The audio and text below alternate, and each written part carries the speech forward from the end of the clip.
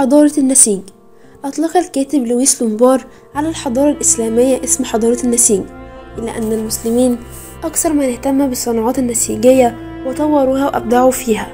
ويعود تاريخ صناعة النسيج إلى ما قبل 5000 عام مع بداية استعمال الحرير في الهند والصين والكتان في مصر التي اشتهرت بمصانع نسيجها الملكي بالإسكندرية وتمدد الإسلام في الشرق.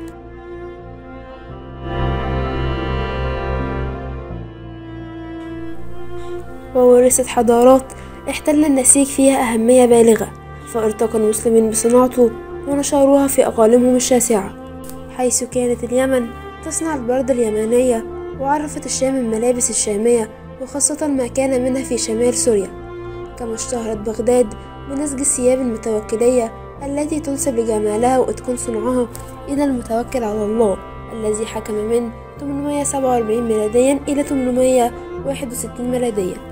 طور المسلمون النور المتحرك للغزل النسيج من خلال تزويده بالثلاثة في المتحركة بالقدم من أجل سرعة وسهولة العمل فانتشر استخدام هذه الأنوال في دول مختلفة في آسيا وأفريقيا مثل سوريا وإيران والشرق الأفريقي ومنها انتقلت إلى المغرب والأندلس ثم أنحاء أوروبا.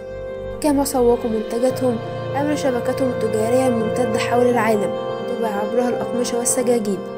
وتألقت أصناف من المنسوجات وباتت علامات الجودة وبلغت صناعة السجاد درجة عالية من الإتقان وكانت ترسم عليها زخارف ورسوم الحيوانات كالفيلة والخيل والجمال والطيور وتصبغ بألوان ثابتة بتصاميم وزخارف متنوعة. واشتهر السجاد الفارسي المصنوع من الصوف وحملت أنواع السجاد أسماء المدن التي صنعت فيها.